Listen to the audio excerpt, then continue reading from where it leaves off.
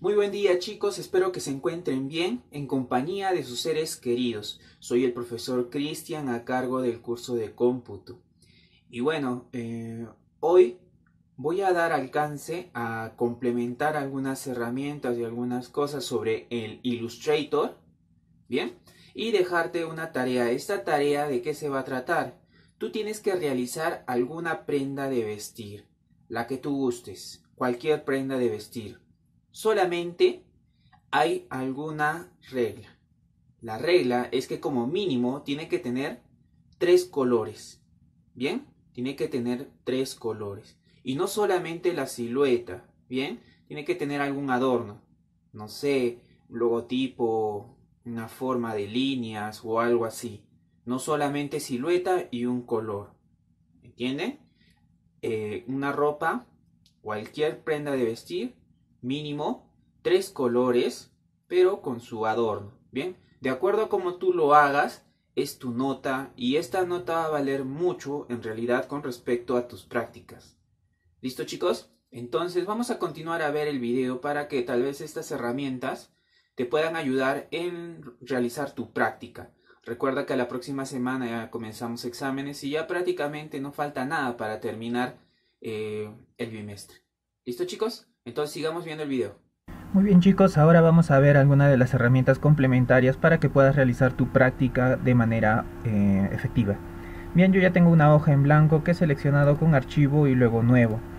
Listo chicos, lo que quería mencionarte, a ver, algunas cosas, como por ejemplo, eh, cuando yo dibujo la pluma, si yo utilizo el pincel, mejor dicho, yo necesito obviamente eh, un color ¿no? de, de trazo.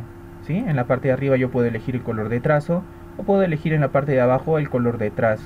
Bien, al momento que yo dibujo, la diferencia del pincel y el pincel de manchas es simple. El pincel solamente tiene un trazo. Y si tú lo rellenas, pues va a rellenar en la parte de adentro. ¿Listo? Es muy distinto a lo que sería el pincel de manchas, ¿sí? Que utilizamos la vez pasada. El pincel de manchas al momento que yo dibujo, tiene dos opciones.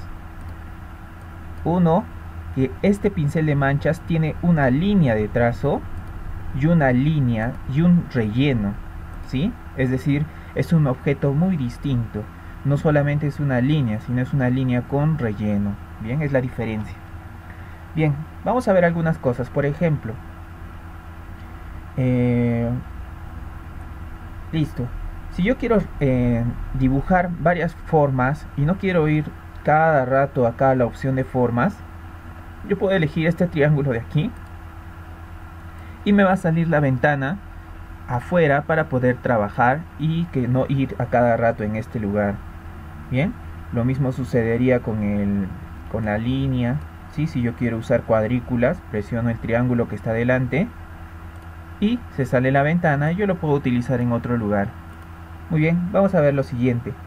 Si yo dibujaría una forma, digamos esta estrella, ¿bien? Eh, puedo cambiarle el color, doble clic acá abajo o en la parte de arriba en sus propiedades. Bien, tengo este color. Pero recuerda que también el Illustrator nos da algunos estilos y también podemos crearlos. En la parte de arriba, en las propiedades, en la barra de propiedades, tenemos algunos estilos. Por ejemplo, este. Tenemos algunos estilos aquí.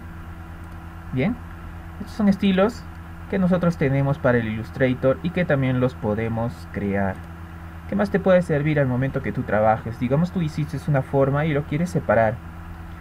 Bien, eh, nosotros tenemos la herramienta de cuchilla, herramienta de borrador, herramienta de tijeras. ¿Sí? Y esto tiene diferentes, eh, diferentes formas de cómo trabaja. Bien, eh, por ejemplo, vamos a ver, eh, bueno, está en la parte media, ¿no? Debajo del pincel de mancha. Si utilizamos el borrador en esta herramienta, la voy a hacer primero más grande para que puedas observar muy bien. Listo. Bien, voy a utilizar el borrador. ¿Sí? Si yo le paso el borrador por acá encima, me va a generar una línea de separación por donde ha pasado el borrador y se va a dividir mi objeto en dos. ¿Ven? En este caso se ha dividido en dos partes. Eso es el borrador. Bien, voy a dibujar otra forma, la forma elipse. Le voy a cambiar el relleno, un relleno más oscuro para que puedas observar de mejor manera. Le voy a poner su línea. Listo. Muy bien, esta línea también tiene estilos de línea que tú puedes ir cambiando para que se vea un poco distinto la línea que has elegido, ¿ves? Yo he elegido otro tipo de línea, no una línea recta, uniforme. Bien, vamos a ver, aparte del borrador tenemos la tijera, ¿para qué sirve? Digamos yo le hago clic aquí donde hay un nodo, un ancla, ¿sí? Hay un cuadradito azul, le hago clic. Y en el momento que yo le hago eso, lo que hace es dividir. Es decir, abierto ese nodo, lo ha cambiado. Lo puedo separar si yo quisiera. Y se puede modificar ese punto exacto del el nodo. Bien, voy a regresar. Algo que te puede servir muy bien es que dos cosas. Al momento que tú dibujes formas, pero primero vamos a ver antes de eso la cuchilla. Anteriormente has visto que el borrador te, dibuja una línea de separación de color blanca, pero lo divide en dos la imagen. ¿Qué pasa con la cuchilla? Yo le paso la cuchilla y lo que hace es dividir también, pero no deja ese espacio en blanco. Es decir, lo separa, pero sin quitar espacios a nuestra imagen. Bien. A ver. Lo que te quiero mencionar es algo que te va a servir muy bien a la hora de trabajo. Si tú presiones la tecla Alt y mueves el scroll, es decir, la rueda del mouse, tú vas a poder hacer más grande tu imagen, tu hoja, tu mesa de trabajo o más pequeño. Presiono Alt, muevo, suelto. Presiono Alt, muevo la rueda, suelto. Presiono Alt, muevo la rueda hacia abajo para más pequeño y suelto. Y así tú puedes modificar tu hoja de trabajo para que sea más grande o más pequeño. ¿Listo chicos?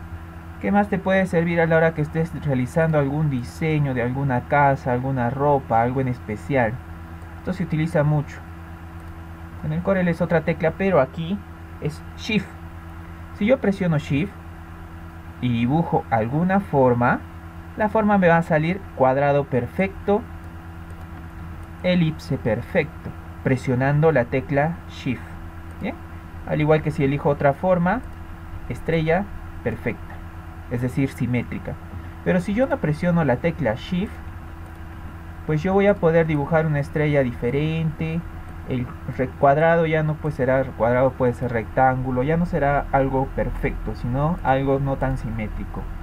Bien, vamos a ver algunas otras herramientas que están más abajo.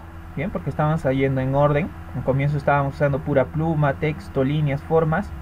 Ya has visto ya esto de borrador. Vamos a ver con estas opciones de transformar. ¿Y de qué tratarán? Bien, vamos a ver estas dos de aquí. ¿Sí? Esta. ¿De qué trata? Bien, vamos a dibujar otra forma. Eh, polígono, a ver. Polígono. Bien, tenemos un polígono. Vamos a elegir la forma esta de anchura. ¿Qué pasa? Que si yo elijo alguna ancla, es decir, alguno de estos cuadraditos que yo puedo modificar de mi trazo, de mi línea, ¿sí? Y arrastro un poco. Puedo modificar la anchura de ese trazo que está, que está unido a esa ancla, ¿sí? Lo puedo modificar. Así yo puedo modificar los trazos y cambiar mi forma de diferente manera. Bien, sigamos con la herramienta esto de acá, con este polígono. Y al lado de acá, de herramienta de anchura, tengo la herramienta transformación libre. Y me dan tres, cuatro opciones. La primera, me va a modificar mi imagen, ¿sí? Pero en general, todo puedo modificar en cada cuadro. Es así como si lo estuviera haciendo más grande, más pequeño, ¿no? Si yo me voy a la otra, distorsión de perspectiva, me va a cambiar, pero de otra manera. ¿Sí? No igual. Perspectiva, es decir, una transformación de acuerdo al ángulo que le quiero dar. Si me voy a la cuarta, distorsión libre, yo puedo modificar eh, los puntos pero hacia el lugar que yo quisiera. ¿Sí? Hacia el lugar que yo quisiera. Los que han trabajado en Photoshop, la transformación libre, eh, ya se pueden acordar muy bien cómo era. Listo, muy bien. Voy a borrar esta imagen. Listo, disculpen que estoy yendo un poco rápido, pero estas opciones eh, son varias y la verdad que estamos ya en últimos días de clase ya que tenemos exámenes. Vamos a ver ahora la herramienta esta que es muy bonita, la herramienta de fusión. Para la herramienta de fusión tienes que crear dos formas o dos líneas. Voy a crear acá esto y este de acá de otro color para que puedas ver mejor. Muy bien. Recuerda que primero he creado el polígono y luego he creado la estrella. ¿De qué trata? Bien, me voy a opciones de fusión, pero antes tengo que configurar las opciones de fusión. Para eso me voy a... ¿Dónde está?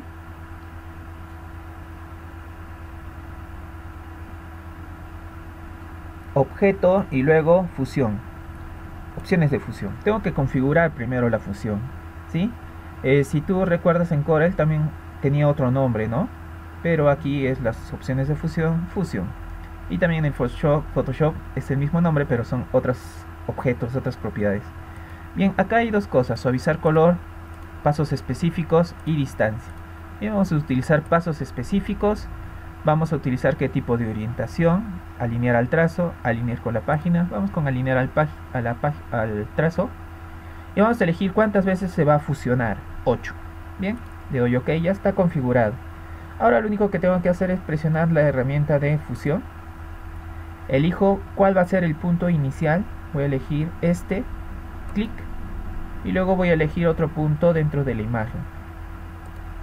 Y se va a fusionar. ¿bien? para que fusione de mejor manera de preferencia lo seleccionamos ambos. Opciones de fusión. Elijo uno y elijo el otro. Y fusión. ¿ven? si yo le quitaría aquí el, el color saldría solamente líneas. ¿Listo chicos? ¿Por qué la estrella siempre va a estar acá adelante? Porque es la, la última que he dibujado. Si yo quisiera que sea al revés, pues la estrella lo tendría que mandar detrás para que salga de diferente manera. Bien, en este caso tiene que ser al inicio. Bien, esa es la opción de fusión. Listo, la herramienta de cuentagotas pues ya la conoces. Si yo pongo una imagen aquí atrás, vamos a poner mejor archivo colocar yo coloco una imagen, yo puedo elegir el color para luego trabajar. Y esto te va a servir, digamos, a la hora que tú quieras diseñar algo en especial. ¿Sí? Por ejemplo, me voy a herramientas guardadas. Acá tengo un polo. Bien, elijo. Ya he colocado mi imagen. Ahora me voy, digamos, a línea y empiezo. Eh, bueno, voy a presionar Enter para que se quede quieta la imagen ahí. ¿Ya? Ok. Muy bien, me voy a línea puedo empezar a dibujar, ¿no? Ya, digamos que estoy dibujando todo acá y lo cerré. Bien. Muy bien, yo quiero elegir que esto sea de color, de este color de la piel. Entonces voy a cuenta gotas, elijo ese color y ya se ha seleccionado, ¿ves? Y como estaba seleccionado primero la imagen, pues se ha cambiado a ese color. ¿Listo chicos? Muy bien, ya tenemos con esto esta herramienta. Y bueno, las de acá se utilizan más en páginas web tenemos también la herramienta acá de símbolo. Antes de rociar el símbolo, tienes que elegir en este lado, eh, pues símbolos, ¿no? Si no, no te va a aparecer los símbolos. ¿Dónde están? Aquí. Bien, acá hay algunos símbolos que te trae el Photoshop. Yo puedo elegir algunos símbolos, le hago clic y me va a aparecer un símbolo de el, bueno, del Illustrator. ¿Listo? Esto va a servir para adornar. Bien, y si quieres más símbolos, pues tienes que crearlos. Listo chicos, con esto ya estamos mejorando alguno de esta práctica. ¿Sí? Varias herramientas. Espero que se te haga mejor el trabajo. Ya te he mencionado algunas herramientas. Y ya sabes que si es que se te desconfigura las herramientas que tenemos aquí, las ventanas, le vas a aspectos y restaurar aspectos esenciales. Bien chicos, espero que realicen su trabajo. Recuerda que si yo voy a hacer esto, puedo acomodar mi línea con la, el pincel de curvatura. ¿sí? puedo arrastrar, puedo ir acomodando. Bien. Yo quiero primero hacer eh, una capa. Digamos que esto ya sea todo el polo. Pues tendría que dibujar nuevamente otro trazado. Pero tendría que ser encima bien sin seleccionar nada para que no se modifique las líneas. Dibujo yo digamos algo así. Y dibujo una nueva capa a esta capa yo le puedo cambiar otro color. Y puedo elegir otro color distinto. Recuerden que les he pedido con adornos y colores eh, distintos como mínimo de 3 bien y ahí yo voy, a ir cambiando mi diseño. Bien chicos ya sabes que para hacerlo simétrico nada más tienes que aparecer la regla. Y puedes girar poner en guías para que todo te salga a un tamaño proporcionado y que no te pases, no lo hagas más grande un lado, más grande otro lado, y que puedas corregirlo todo. ¿Listo chicos? Y bien, algo más que te pueda enseñar y que te pueda mostrar, ya lo último, sería la herramienta eh, de transformación. A ver, me voy a ventanas. Eh, acá debería estar la herramienta.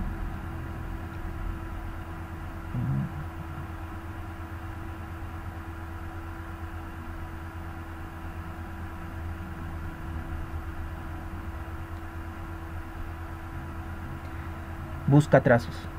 Bien, esta herramienta me va a ayudar a transformar, también se utiliza esto en Corel. Este programa tiene mucho parecido en lo que es el Corel. Si yo dibujo un cuadrado, le coloco un color. Voy a dibujar otro rectángulo, mejor dicho. Y le coloco otro color. Acá yo tendría dos objetos, ¿no? Puedo hacer varias cosas. Pero ¿de qué trata? Si yo lo selecciono aquí, me da herramientas para transformar, es decir, cambiar los tamaños, orientación, girarlos, ¿sí? alinear si lo quieres poner arriba, abajo, todo eso, y el buscatrazos. El buscatrazos pues me va a ayudar a recortar, en este caso ha recortado lo que estaba adelante y ha quedado lo que estaba atrás. ¿Sí? Lo puedo fusionar, es decir, eh, juntar, que se vuelva un solo objeto. ¿Bien? Y te dan diferentes opciones como solamente juntar lo que está en la intersección. Nada más debes seguir probando y te van distintas veces. En este caso ha, quitado lo que estaba en la intersección y solamente ha quedado lo que está exteriormente. Esta es la herramienta busca trazos y para el busca trazos pues nada más tienes que ir acá a ventana y buscar busca trazos para habilitar la ventana busca trazos. Una vez que tengas la ventana acá de busca trazos pues se va a quedar ahí hasta que le des X. Muy bien chicos, espero que se haya entendido, haya mejorado un poco más en el conocimiento de este programa. Obviamente este programa es aún más complejo. Yo te he dado, bueno, herramientas básicas, ¿no? El uso básico prácticamente para iniciar con este programa. Y bueno, no te olvides cumplir con la, con la tarea prácticamente final sobre este programa que tienes que presentármelo en archivo AI, o sea, en formato Illustrator. ¿Sí? O si no, pantallazo a lo que tú has trabajado y lo mandas al WhatsApp. Recuerda enviar con tu nombre y bueno, tu grado. ¿Listo chicos? Entonces espero que tengan un bonito fin de semana. Cuídense mucho y nos vemos a la próxima clase.